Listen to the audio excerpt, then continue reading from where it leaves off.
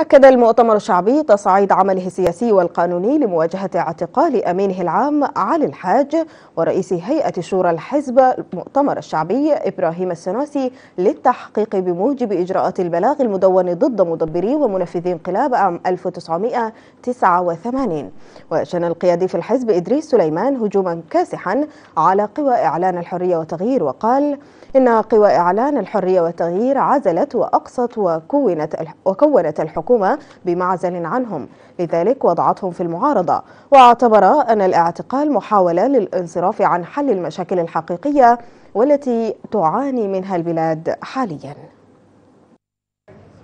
ونحن للأسف الشديد الآن كل الظواهر تدل على أنه نحن في دولة لا قانون. لا توجد سيادة لحكم القانون. كل القوانين التي تشرع الآن أو شرعت قوانين لا تمت لسيادة حكم القانون بصلة. قوانين تعسفية قوانين تتجه اتجاهات كاتجاهات محاكم التفتيش في القرون الوسطى. تحدثنا كذلك في المؤتمر الصحفي عن عدد من القضايا متعلقة بحرية التعبير. طيبة لحياة طيبة.